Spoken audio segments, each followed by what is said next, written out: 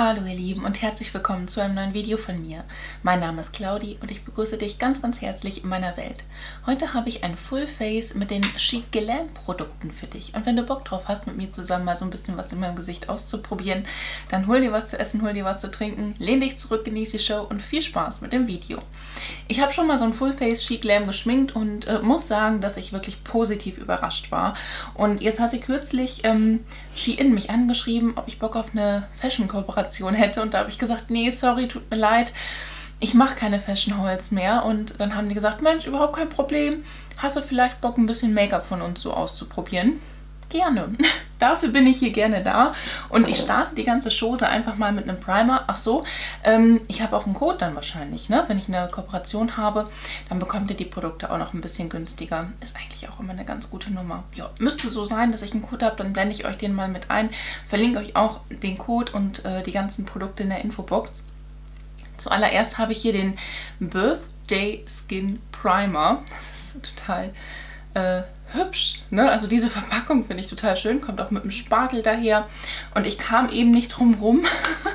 ich habe direkt reingepackt und äh, ja, ich weiß nicht, ob ihr das kennt. Manchmal, wenn man so Konsistenzen sieht, wenn man Oberflächen sieht, man muss draufpacken. Das ist unglaublich.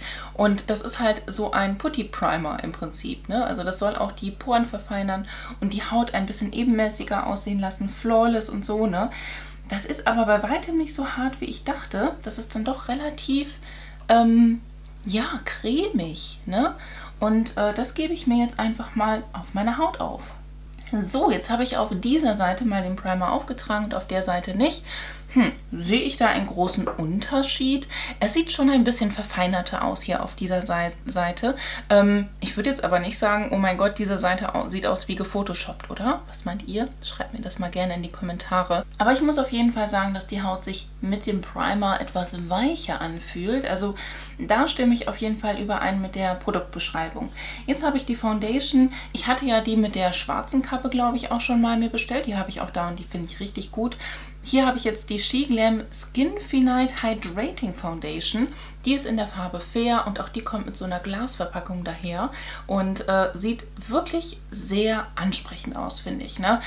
Hochwertig, nicht so billo-billo und auch der ähm, Primer, der hat überhaupt keinen Duft. Die Foundation wird ebenfalls keinen Duft haben. Das ist unglaublich und das finde ich sehr, sehr positiv. Die She Glam Produkte sind übrigens tierversuchsfrei. Das ist auch noch wichtig, glaube ich. Okay, man musste sie vorher gut schütteln, das habe ich getan. Und die Foundation ist auch relativ flüssig. Ne? Also die fließt meine Hand hinunter und sieht gut aus. Also die Farbe gefällt mir gerade echt gut. Und die tupfe ich mir jetzt einfach mal so in mein Gesicht. Yo! Guten Tag. Guten Tag. Bin wieder da. Ja, ich bin wieder da. Das ist schön. Ja, ne? Ja. Das ist mal ein Farbmatch. Guckt euch das an. Richtig geil. Die deckt schön ab, ebnet an und gefällt mir tatsächlich auch richtig, richtig gut. Und jetzt mache ich noch die andere Seite drauf und dann wird das Ganze eingeblendet mit einem Schwämmchen. Man muss auf jeden Fall die Foundation nochmal mit einem Schwämmchen einblenden, weil das mit dem Pinsel war für mich jetzt zu streifig vom Ergebnis her. Die Deckkraft würde ich eher als natürlich bezeichnen. Also ähm, Pickel kommen durch, Muttermale kommen durch, Rötung kommen durch, Sommersprossen kommen durch. Also eher eine leichte Deckkraft. Ne? Aber für mich persönlich ist es vollkommen ausreichend und eigentlich auch genau die Deckkraft, die ich gerne erreichen möchte, wenn ich mich schminke. Ne? Weil ich gebe ja auch nachher noch andere Produkte drüber. Da brauche ich gar nicht so dieses Full-Full-Coverage. Und das Finish gefällt mir. Das ist wirklich hydratisiert, hat sich gut mit dem Primer vertragen und macht ein schönes, ruhiges Hautbild. Ne? Also mir gefällt das richtig gut, was die so gemacht hat. Setzt sich nirgendwo blöd ab, hat sich schön mit der Haut verbunden, sieht aus wie Haut, kann ich mich nicht beschweren. Jetzt kommt ein Concealer zum Einsatz. Da weiß ich nicht, ob die Farbe passt. Ich hoffe. Ähm, auch natürlich von Chic Glam. Äh, Versatile Flawless Concealer. Total spektakulär. Äh, welche Farbe habe ich denn hier? 25 Gramm sind hier drin. Wow. Finnland ist die Farbbezeichnung. Sieht so aus. Ja, und 25 Gramm ist natürlich richtig, richtig viel. Da hast du fast so viel drin wie in manch einer Foundation. Ne? Das Wahnsinn. Hat hier so ein Rausdrückvieh. Gebe ich mir erstmal so ein bisschen was drunter. Huch, da kommt immer mehr raus. Schnell zumachen. Das Ding, die Tube steht unter Druck, ich sag euch das. Huch. So, das arbeite ich mir jetzt einfach mal mit dem Schwämmchen hier ein. Auch hier haben wir eine ähm, leichte Deckkraft unterwegs. Ne? Also das ist nicht mattierend, das ist eher brightened. Also dass du quasi dann noch so Strahlkraft hast, es halt ein bisschen speckiger ist. Ne? Mag ich richtig gerne leiden.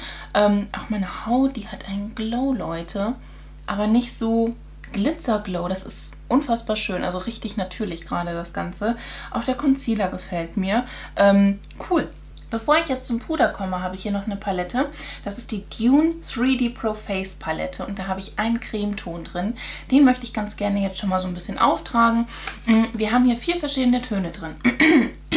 Zwei Highlighter, einen ähm, ja, Bronzer, einen sehr warmen Bronzer und einen Creme-Highlighter, der halt auch wirklich ein bisschen dunkler ist. Ne? Also hier sehen wir auch tatsächlich die Töne und ähm, da werde ich mir jetzt auch diesen Highlighter tatsächlich nehmen mit sehr viel Goldanteil drin und äh, den gebe ich mir gleich mal auch auf die Wangen auf, dass ich da schon mal so ein Glow from Below haben werde. Nehme ich jetzt den gleichen Pinsel, mit dem ich die Foundation auch aufgetragen habe und gebe mir den so an die höchsten Stellen von meiner Wange. Und auch wenn die Foundation an sich ja auch schon am Glowen ist und so für sich sehr gut dasteht, gibt das nochmal so ein on top. Mag ich sehr gerne. Jetzt habe ich ein Produkt und das ist total spektakulär. Insta Ready Face and Under Eye Setting Powder Duo. Also das sind quasi, ne? Das ist ein 2 in 1 Produkt. Wir haben hier oben ein gepresstes Puder, was man quasi fürs ganze Gesicht nehmen kann. Und das ist so in Translucent, also in, ähm, also ich habe die Farbe Bisque gewählt. Aber ich glaube, die Farbe Bisque bezieht sich dann eher auf das lose Puder, was hier unten drin ist. Wenn man das nämlich so aufschraubt, hat man hier dieses lose Puder drin. Finde ich mega geil, total aufregend. Ähm, ja, und äh, ich weiß jetzt noch nicht genau, wo ich dann das Puder hinmachen soll, weil hier in den Deckel geht ja schlecht, ne? Muss ich mal schauen, vielleicht doch. Ach so, das kommt schon so ganz gut rausgeschossen. Ähm, Mache ich nämlich gerne dann mit meinem Schwämmchen einfach mal, dass ich da das lose Puder aufnehme und dann direkt einfach mal unter meinen Augen sette. Dann drehe ich das jetzt mal wieder zu und nehme mir das gepresste Puder und da habe ich auch einen Spiegel drin. Also eigentlich ein total gutes Produkt zum Verreisen. Und ja, sette damit einfach mal mein Gesicht. Aber es wirkt jetzt ein bisschen trockener, ne? Also die eben so schön glowy gewesene Foundation und Geschichte und so, ne? Ist jetzt furztrocken im Gesicht, jedenfalls optisch. Fühlt sich aber immer noch hydratisiert an, mein Gesicht. Das, was? ähm, ja, aber so, ne? Schönes Ergebnis. Schön. So, dann nehmen wir uns mal wieder die Dune-Palette vor, denn da habe ich ja den Bronzer, den ich gerne verwenden möchte. Da gehe ich jetzt sehr, sehr vorsichtig mit um, ne? nämlich auch den Pinsel, den ich eben zum Abpudern genommen habe. Klopf gut ab und ähm, trage mir den jetzt einfach mal so ein bisschen auf. Und das ist halt kein Konturpuder, ne? der ist halt etwas wärmer, etwas ist gut, also ich sehe schon, wie rötlich der ist. Mm, da muss ich halt echt mit aufpassen. Ist halt vollkommen außerhalb meiner Komfortzone. Ich trage jetzt auch schon mal Trage ich jetzt schon mal? Nein, ich trage jetzt den Blush auf. Den habe ich hier. Das ist der Insta Flame von äh, She Glam natürlich, Lightweight Matte Blush. So sieht die Verpackung aus. In Kontrast zu der Verpackung von der Foundation ist diese Blush-Verpackung doch etwas billiger. Ne? Also das mag ich jetzt nicht so ganz so gerne. Hier haben wir, einen Farbverlauf drin von dem Blush, was ich sehr geil finde. Erfahrungsgemäß sind die Blushes übrigens sehr, sehr krass pigmentiert. Deswegen gehe ich da auch nur wirklich vorsichtig rein. Ne? Bisschen abklopfen und dann trage ich mir den Blush hier einfach auf. Schön frühlingshaft, ne? Frisch mag ich gerne leiden harmoniert auch gerade extrem gut mit dem Bronzer. Also das geht echt in eins so über. Das funktioniert gerade richtig gut. Mag ich gerne leiden. Wirklich, ne? Also es ist ein schönes äh, Blush-Ergebnis tatsächlich. Und jetzt nehme ich mir hier auch ähm, den Highlighter. Das ist der hier unten in der Ecke, den ich gerne verwenden möchte. Denn der dürfte farblich auch ganz gut passen. Da schön abklopfen. Oh ja, der ist intensiv, Leute. Da kommt auf jeden Fall was um die Ecke. Ich persönlich finde den Highlighter jedoch etwas zu glitzernd und zu gold. Also das ist äh, schon sehr bam in your face, ne? Das sieht man auch richtig krass, ey. Ähm, und ja, da hat man halt grobe Schimmerpartikel mit drin. Ist nicht ganz meine Welt. Oh ja, jetzt kommt ein Produkt zum Einsatz, was ich auch schon mal leer gemacht habe. Finde ich richtig geil. Augenbrauenstift von She Glam habe ich in der Farbe Blond. Der Skinny Brow Pencil. Der ist wirklich, wirklich geil. Kann ich euch mega empfehlen. Hat eine richtig tolle Farbe. Hier haben wir einen Spoolie dran.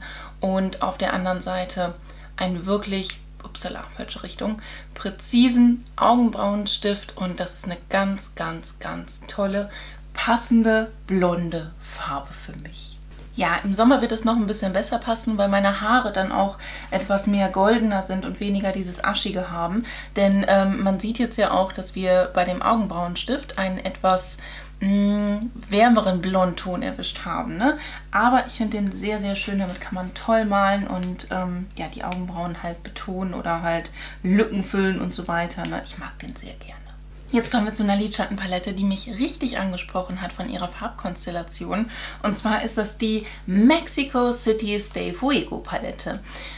Woran erinnert sie uns? Ja, äh, ne? Die Essence-Paletten, City-Paletten sehen dem Ganzen doch schon sehr ähnlich, beziehungsweise das äh, ehemalige Design von denen. Mittlerweile sind die auch ein bisschen anders aufgemacht. Ich finde die hier aber künstlerisch total schön, also sehr, sehr, sehr, sehr cool. Und wenn wir die aufmachen, sehen wir diese Töne und die sind ja wohl mal der Hammer. Also extrem schön, genau das, was mich aktuell auch anspricht. Ich mag richtig gerne dieses gelb-grünliche. Das heißt, ich werde mich auch vor allem an der ähm, oberen Reihe aufhalten. Wir haben aber auch natürliche Töne hier mit dabei und ähm, ja, ne? Schreit nach einem coolen Look. Auf geht's. Ich starte einfach mal mit diesem Gelb. Das ist A-Mazed, nennt sich das. Sieht so aus und ist ein matter Ton. Und den platziere ich mir grob auf meinem beweglichen Lid.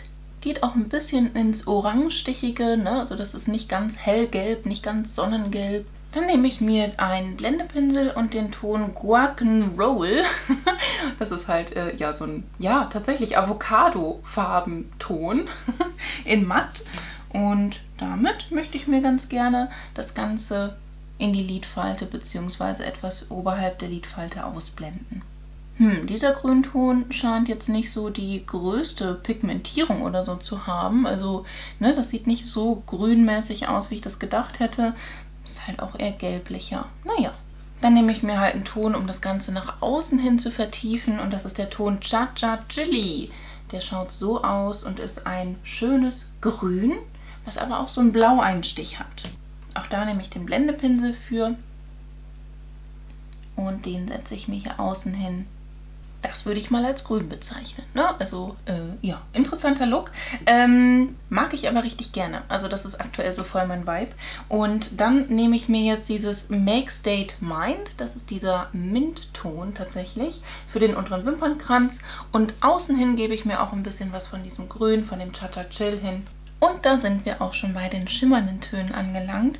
Da möchte ich zuallererst diesen Ton Cactus Glow nehmen. Das ist dieses schöne Grün. Und äh, den trage ich mir auf mein Zentrum auf. Also direkt hier möchte ich den gerne haben. Da ist dieser Pinsel, glaube ich, aber nicht ganz so geeignet für. Ne? Da kommt nicht viel aufs Auge drauf. Das geht am allerbesten mit einem Finger. Für mein inneres Drittel verwende ich, äh, ich weiß nicht, ob ich diesen Pinsel nehme, muss ich mal gucken, Good as Gold. Das ist dieser Schimmerton hier, der eigentlich für Innenwinkel, inneres Drittel und so für mich persönlich prädestiniert wäre. Und das kommt auch gut aufs Auge. Mag ich. Das ist doch echt mal hübsch oder? Also da kann ich mich jetzt überhaupt nicht beschweren. Das sieht gut aus. Und das war echt einfach. Ne? Also ich habe keinen Fallout. Die Töne haben sich schön auftragen lassen, schön miteinander verbinden lassen schöne Geschichte. Beim Eyeliner wurde mal so richtig nachgedacht und das finde ich cool. Das ist der Do It All 2 in 1 Eyeliner. Wir haben hier auf der einen Seite einen klassischen Eyeliner. Das ist auf dieser Seite. Der schaut so aus. Der ist aber ein bisschen dicker. Ne? Also das sehen wir auch hier. Da kannst du sehr breit mitmalen. Ich bin mal gespannt, wie ich das hinkriegen werde. Und auf der anderen Seite haben wir ein Korrekturvieh. Das finde ich so geil. Also wie oft verkacke ich meinen Wing, muss ich wirklich sagen. Und äh, da hast du halt direkt so ein Ding mit dabei. Ne? Finde ich klasse. Und jetzt mache ich mir damit meinen Eyeliner. Sieht auch so witzig aus. Ne? Da kannst du in der Mitte so durchgucken und so. Aufregend. Also so präzise kann man damit malen. Ich bin mal gespannt, ob ich das auf der anderen Seite auch so hinkriege. Aber das ist schon mal krass, finde ich. Ne? Also da bin ich sehr, sehr fein geworden. Und, äh, hm, ja, das ist immer so die Sache mit auf der einen Seite anfangen, dann geht es auf der anderen Seite weiter. Mal schauen. Natürlich bin ich hier jetzt ein bisschen dicker geworden. Das ist irgendwie gefühlt immer. Ich finde es eigentlich schöner, wenn das ein bisschen dicker ist, ne? Egal. Ähm, ich nehme jetzt hier mal die Korrekturseite, weil ich habe hier oben so einen kleinen Dot drüber gemalt. Und ich gucke mal, ob ich hiermit auch den Lidschatten, wahrscheinlich nehme ich auch den Lidschatten damit runter, oder? Wenn ich hier oben so ein bisschen versuche zu korrigieren. Was übrigens richtig gut funktioniert. Ei, ei, ei. Ja, dann nehme ich natürlich den äh, Lidschatten auch mit runter. Aber es funktioniert halt wirklich gut, ne? Das kann ich nicht anders sagen. Hammer. Hätte ich nicht mit gerechnet. Also es lässt sich korrigieren. Das sieht jetzt natürlich nicht perfekt aus, aber ohne Witz. Perfekter als so gut wie alles andere, was ich sonst so versucht hätte, ne? Gefällt mir. Guter Eyeliner. Bisschen schwierig, das anzuwenden, ne? Also diesen ähm, dicken Eyeliner, dann drehe ich den auch immer mal so ein bisschen, damit ich dann auch wirklich feine Linien damit zeichnen kann. Aber es funktioniert wirklich besser als gedacht. Ich habe zwei verschiedene Mascaras, die ich gerne mit euch zusammen ausprobieren möchte, denn das waren beides neue und ich wollte sie einfach mal beide gegeneinander antreten lassen. Einmal die Long at Last Mascara und die Max Impact Mascara. Das sind diese beiden, die sehen doch sehr ähnlich von der Verpackung her aus. Natürlich hat die verlängernde Mascara ein Gummibürstchen, was tannenbaumförmig ist. Und die, die Volumen geben soll, hat ein äh, Kunstfaserbürstchen, was so erdnussförmig ist. Also im Prinzip schwierig, die beiden gegeneinander antreten zu lassen. Aber ich wollte einfach mal sehen, wie die so auf den Wimpern wirken, dass ihr dann auch theoretisch entscheiden könntet, worauf ihr einfach mehr Bock hättet. Ohne Mascara. Erste Schicht. Zweite Schicht dritte Schicht. Äh, ja, ich glaube, wir sind uns relativ einig, dass die verlängernde Mascara irgendwie ein besseres Ergebnis gemacht hat. Und auch wenn man sich das aus der Nähe anguckt, dann fällt einem das noch ein bisschen intensiver auf. Also die verlängernde Mascara hat auch verlängert, sie hat getrennt und sie hat es wirklich schön gemacht. Mehr als drei Schichten würde ich auf gar keinen Fall auftragen. Zwei hätten eigentlich auch hier schon gereicht, aber ich trage immer drei Schichten bei Mascara auf. Deswegen wollte ich das einfach mal vergleichen. Und die ähm, Volumen-Mascara ja, die verklebt dann doch etwas. Ne? Also ich hätte erst gedacht, dass sie halt gar nicht verklebt, aber jetzt in der dritten Schicht ist es schon so, dass die hm, einzelnen Wimpern zusammenkleben. Ich kann mir gut vorstellen, dass wenn ich hier jetzt vielleicht nochmal ein bisschen was von der Gummibürstchen verlängernde Mascara drüber gebe, dass das geil wird, ne? Weil das ist ja meistens der Fall, dass wenn man äh, so Volumenmascaren mit einer Mascara kombiniert, die so ein äh, ja, Gummibürstchen hat, dass das Ergebnis dann nochmal ein bisschen verfeinerter wird und dann die beiden Ergebnisse sich gegenseitig maximieren. Wobei, wenn ich das jetzt hier so angucke, kann da nicht mehr so viel gerettet werden. Wahrscheinlich, weil ich zu lange gewartet habe. Da hätte man wahrscheinlich eine Schicht so, eine Schicht so. Außer Entfernung war Wavum. Kann man nicht anders sagen. Das ist krass, ne? Aber wenn ich mir das von Namen angucke, sieht man schon, wie, äh, ja, zusammengefercht die Wimpern sind. Aber also die hier, die finde ich richtig geil, die verlängernde Mascara. Lippenprodukte gibt es bei She Glam auch super viele unterschiedliche. Ich habe mich jetzt für dieses hier entschieden. Das ist Thanks Just Bought It, fand ich einfach witzig. Ähm, She Glam Creamer Allure Lipstick. Creamer Allure, okay. ja, sieht so aus, finde ich total schön und das ist halt auch so magnetisch, ne? Oh, lieben wir. Mm, und das hat halt so einen schönen bräunlichen Nude-Ton. Und guck mal, wie schön das aussieht. Allein von hier, ne? Von diesem Applikator her. Mag ich. Riecht nach nichts ungefähr. Das sieht einfach aus, als hätte ich gerade einen Schokoladenkuchen gegessen, finde ich. Für mich persönlich ist das ein bisschen zu dunkel auf den Lippen. Aber ähm, ja, für mal kann man auch mal ein bisschen dunkel, dunklere Lippen tragen. Das sieht wirklich aus, als hätte ich gerade Schoki gegessen, oder? Finde ich ziemlich witzig. Mm, macht sehr weiße Zähne. Mag ich gerne leiden passt auf jeden Fall auch zum Look. Und ich muss im Allgemeinen auch sagen, dass mir die Produkte wirklich gut gefallen haben. Bis auf diese Bronzer Highlighter Palette wird auch sehr wahrscheinlich alles bei mir bleiben. Ähm, tatsächlich, ne? Sammy ist schon eingeschlafen und schnarcht ganz entspannt vor sich hin. Das ist süß. Das ist einfach süß. Und hier nochmal die Erinnerung, denkt an das Buch Sammy endlich ankommende. Hm. Ja, äh, auf jeden Fall, mir gefällt der Look. Ich fühle mich wohl, so wie es aussieht. Und äh, ja, das war's dann. Huch, jetzt habe ich einen Pinsel gehauen, Entschuldigung. das war es jetzt auch hier von mir und meinem Full Face, äh, Full Face, Full Face She Glam Video. So, wenn dir mein Video gefallen hat, dann lass mir doch sehr, sehr gerne einen Daumen nach oben da. Würde ich mich mega drüber freuen. Ansonsten wünsche ich dir einen wunderschönen Tag, einen wunderschönen Abend. Lass es dir ganz einfach gut gehen. Fühl dich ganz doll gedrückt von mir. Ich verlinke dir mal hier oben meine Playlist mit den ganzen Schminkies, hier unten meinen neuesten Upload, auf dieser Seite noch ein Video von mir und hier oben kannst du, wenn du möchtest und es vielleicht noch nicht getan hast, mich sehr, sehr gerne einmal kostenlos abonnieren. Ich würde mich echt von Herzen drüber freuen. Lass es dir gut gehen und hoffentlich bis zum nächsten Mal. Ciao!